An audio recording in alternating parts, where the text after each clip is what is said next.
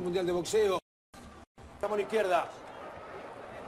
Es el primer asalto, buen comienzo de la campeona del mundo. Hay una diferencia de velocidad clara y notoria en favor de la campeona mundial. Sobre la chatita Franco. 10 segundos finales, marca el keeper. Entró muy bien con el ascendente derecha. Trabajo prolijo, interesante, rápido, veloz, la Tutti Bob. Suena la campana final del primer asalto. Y 10. 9 para Nancy Franco.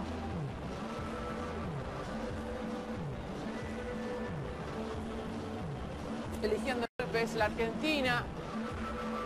Reconociendo el ring. Tiempo, distancia, momento. Ya mostró de velocidad, de buena condición física. Efectiva.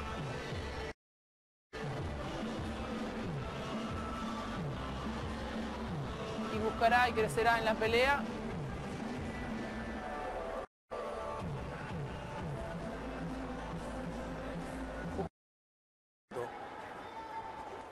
¿Hasta dónde llegará la velocidad de la Tutti? Tiene el jab largo la mexicana. En la cintura de Bob. Castiga bajo la Tutti con el gancho de mano izquierda otra vez. Reparte bien los golpes. No repite nunca la misma maniobra. Se mueve hacia un lado y hacia el otro. Busca la distancia adecuada. Todavía Bob no se pudo emplear a fondo. No hemos visto ningún movimiento de los cuales nos tiene acostumbrados de alguna combinación de 5 o 6 golpes seguidos, que lo suele hacer. Está más parada sobre el tapiz y castigando con uno o dos golpes. Derecha larga ahora. Dejando de lado un poco ese boxeo amateur que tenía Bob, de tantos golpes consecutivos. Más pensante, elaborando, de tratar de quebrar, de desbordar. La derecha de Bob, se termina la vuelta. Suena la campana, final del segundo round. Boxeadoras en las esquinas. Con un uppercut cortito al mentón. De mano izquierda Jessica Bob. 10-9 otro asalto para la campeona.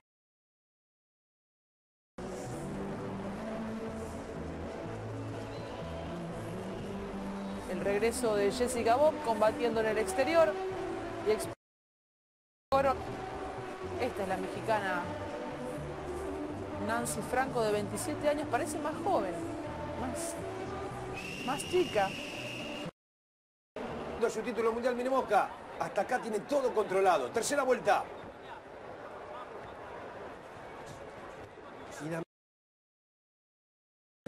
Y acelere, Jessica Bob va a sacar más diferencia todavía. La estatura boxística de Jessica Bob es demasiado para una mexicana que como mexicana guapa, por eso Jessica inteligente, sabiendo todo esto, entra y sale con mucha velocidad. No toma más la rubia. Cruzó la derecha Bob. Y busca con el gancho de izquierda. Y en la derecha arriba otra vez. Y otra derecha más. Jessica. lado la pelea, ¿no? Claramente. De marcada diferencia, te lo dije en el segundo round. Por eso dije, estoy viendo más allá e intuye que estén a la altura de lo que es un boxeo, marca diferencias muy grandes. Pasa Faría con la potencia que tiene, en otro ámbito, en otro terreno. Se va la tercera vuelta, es todo de la. Sabe de lo que hace Jessica Bob y enfrente no tiene una gran oposición, no le da demasiados problemas ni dolores de cabeza dejan las rivales adecuadas. La Asociación Mundial de Boxeo esta noche está batiendo récord Guinness por realizar de siete títulos internacionales en juego. Hay cuatro mundiales, pero hay tres de segundo orden. A ver si puede resolver el boxeo de Jessica Bob, que hasta acá está dominando claramente y no se tiene que prender la Tuti, ¿eh? No tiene que aceptar lo que ofrece la México.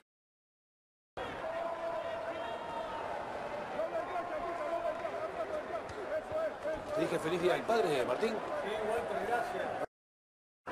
Bueno, yo le mando un feliz día al padre a mi tío Ah, Eso quiero Pietro. decir, aquellos que no lo tienen, como vos, el recuerdo imborrable, por supuesto. Mañana voy a ver a mi tío Pietro y se va a encargar de hacer unos buenos brownies, así en la corta, en la larga. Porque sabe, eh, sabe más. Sí, además de eso, la diferencia hacia un lado y hacia otro. El 1-2. Llegó de la Cuti sobre la cara de Franco. Y la izquierda en cross. Es un verdadero picnic que se está haciendo. ¿eh? Ya resolvió todo, ya llevó a cabo su plan. Esa velocidad que relata Walter es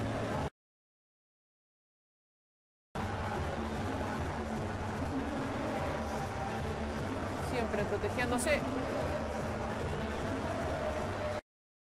De primera. Ingresamos en el quinto round de la pelea.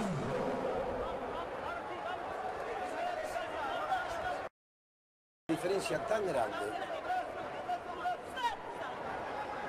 que le es imposible, no le alcanza con eso, muy pocos. Castigó abajo, la Turquía otra vez y ahora arriba con el 1-2.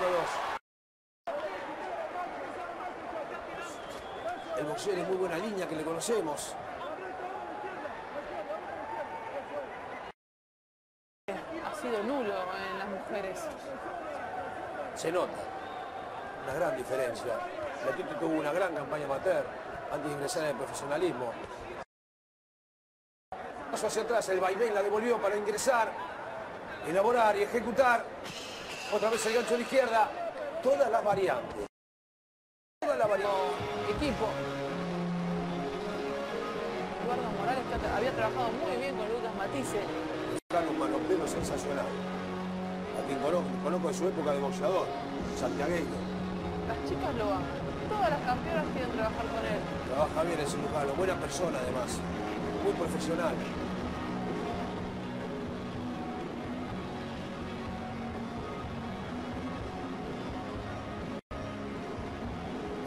Diferencia abismal. ¿eh? Hablábamos antes de la pelea que esta chica mexicana venía a perder sus dos últimas presentaciones. Rivales que no llegan al nivel que tiene la Cutibor. Y acá quedó evidenciado.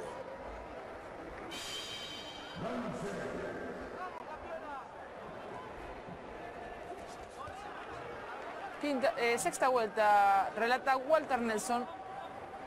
Están en el escenario, se están observando. Está Pablito Chacón, el Mono Sosa. Pablito Chacón que va a trabajar nuevamente en el boxeo amateur. Es una grata noticia. Un saludo grande para Pablo. Aplicando todos sus conocimientos. Fue un gran campeón del mundo. Jessica va a tener que empezar a combatir con boxeadoras orientales. Sí, Ahí está. Ahí está la oposición. Ahí hay buenas bolsas también.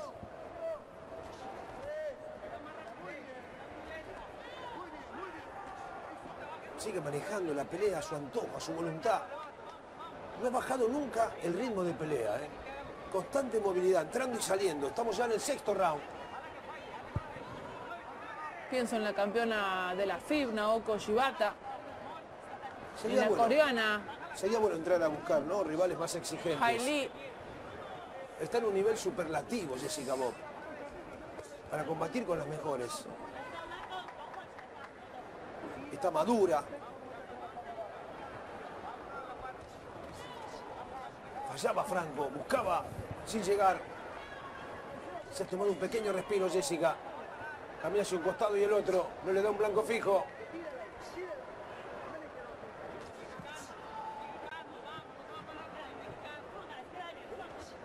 Aún perdiendo en todos los terrenos, la mexicana no se da por vencida. No, jamás. Y busca permanentemente. Esto es lo que tienen los mexicanos. Ni ninguna, no, sí, Esa sangre caliente, esa mentalidad ganadora, esa voluntad. Llegó con el 1-2 Jessica Bob, aún retrocediendo. Suena la campana. Final del sexto round. Es que retrocediendo también ataca y lo hace muy bien. Quizás sea su mejor. Frente a una boxeadora que es muy lenta, no se le cae ninguna idea, es muy peleadora, como son habitualmente los mexicanos. Y lógicamente, el boxeo de mejor estética, de mejor línea, de mayores variantes de Jessica Bob es demasiado para ella.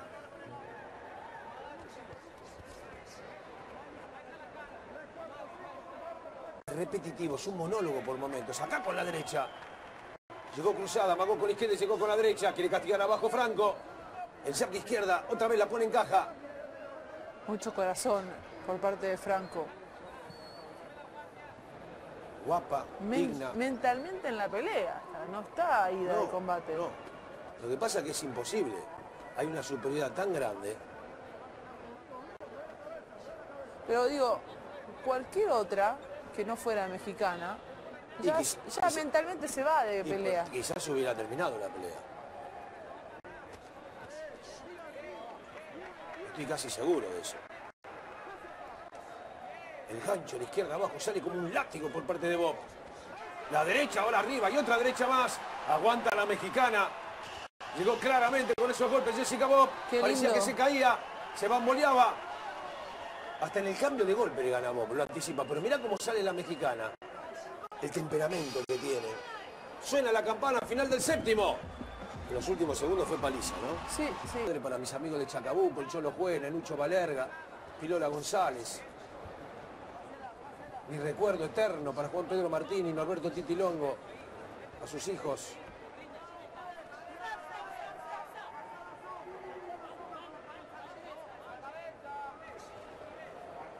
Sigue buscando Franco y sigue marcando la diferencia Jessica Bob. Ahora con el de izquierda.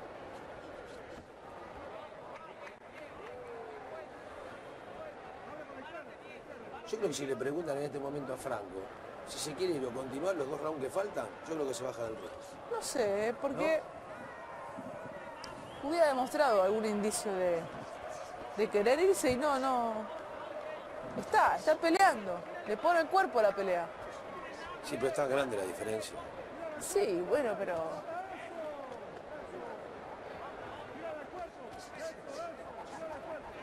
Es tan abrumador el dominio es un mérito que a, a muchas les vendría bien esa perseverancia. O a muchos también.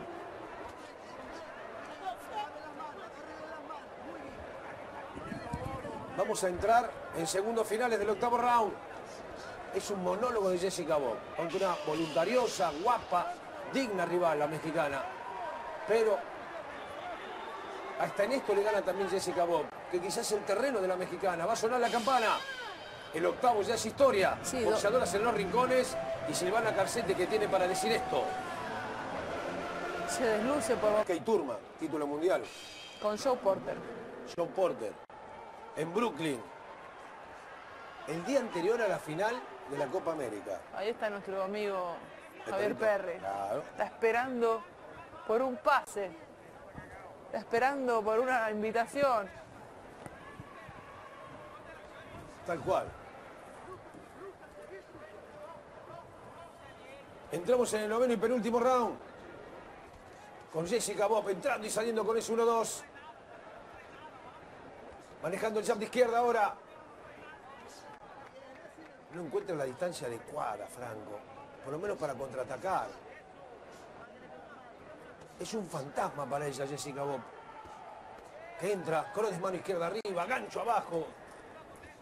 Otra vez con el cross. Todo el manual de recurso boxístico de Jessica Bob.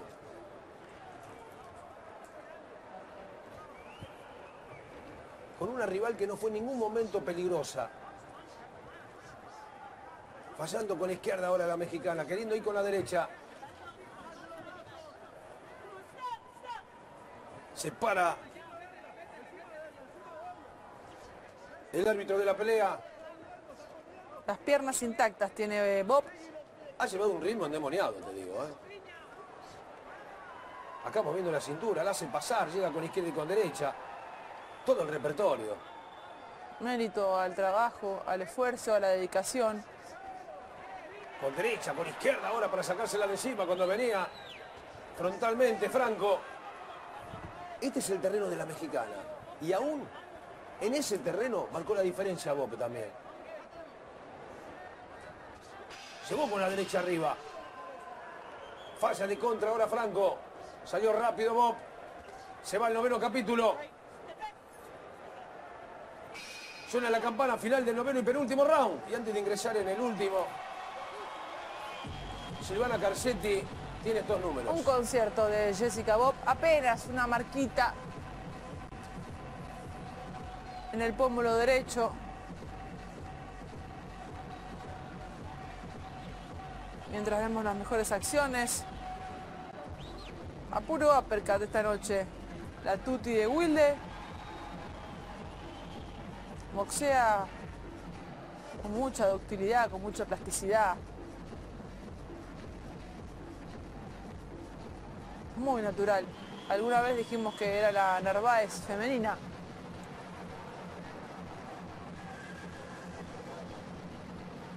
Por la categoría, por los movimientos, por la velocidad mental.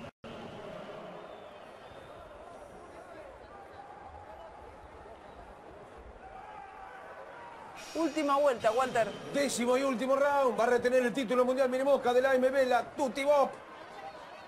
Salió disparada la mexicana como si recién empezara la pelea. ¿Qué le falta vos? El knockout. Le la dio vuelta con la derecha. Qué clara que llegó. Y con la izquierda ahora. Si algo le faltaba a la Tutti Boss era esto también. Ir al cambio de golpes y ganarle también a la mexicana.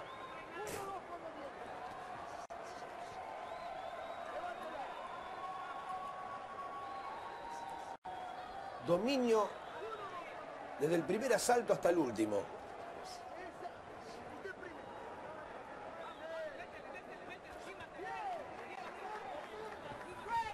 El toro y el torero, parece. Sí. Franco que va hacia adelante, la Tuti que abre el juego, izquierda-derecha, paso atrás, una capacidad periférica importante. Acá llegó bien la mexicana, con derecha y con izquierda. Se prendió la Tuti, que no tiene necesidad. Se está haciendo la pelea, entramos en el último minuto.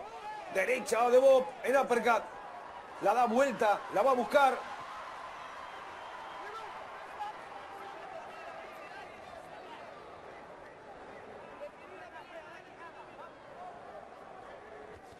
Derecha cruzada de Bob. Sobre la cara de Franco. Mido el cronómetro, 40 segundos finales. Falla Franco, siguió de largo. Le faltaba la capa acá, ¿no? A la Tuti.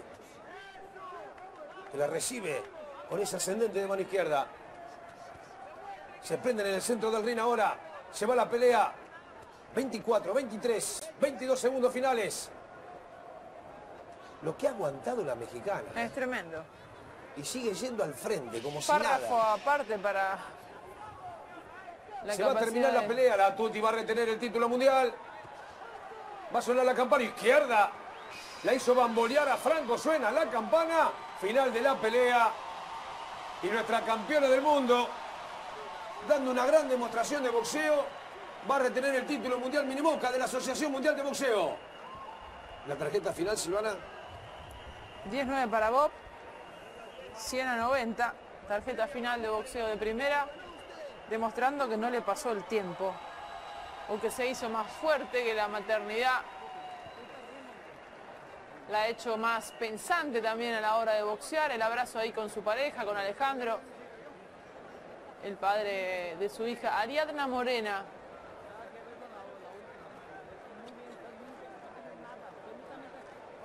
Primera presentación en la pantalla de Teis Sports de Jessica Bob después de haber sido mamá. En Venezuela, exponiendo la corona de la MB. Demostrando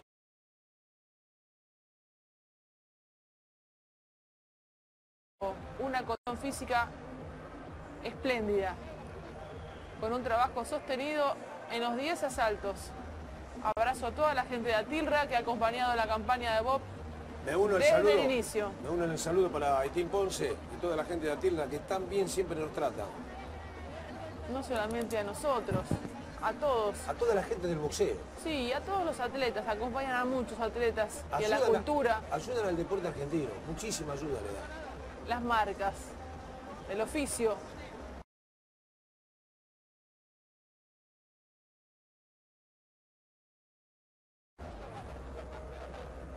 Quizá una vez que cerró una par se abrió un poco, porque no estaba de acuerdo con algunas decisiones. Bueno, pero los boxeadores no tienen la culpa. No, por supuesto que no.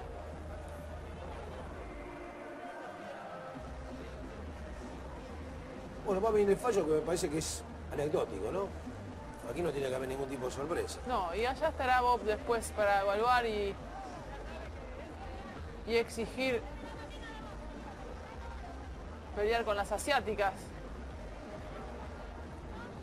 Es que las mayores exigencias con las condiciones que tiene Jessica Bob no tienen que asustarla ni mucho menos.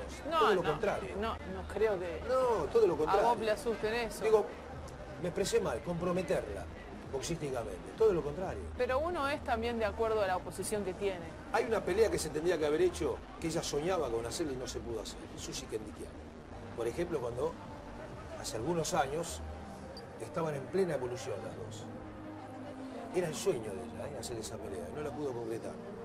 Por diversos motivos. Va a venir el fallo de la pelea. Acá me escribe Tim, Eti, mandale un te abrazo. mando un abrazo y está seguramente muy contento con la victoria de Jessica.